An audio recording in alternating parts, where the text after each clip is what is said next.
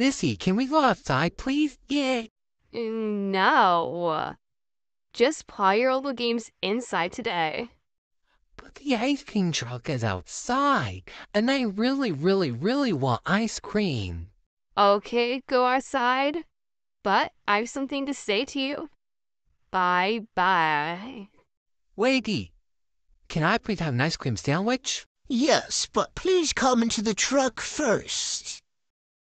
Ooh, I forgot. Ice cream. Would you like some fruit punch?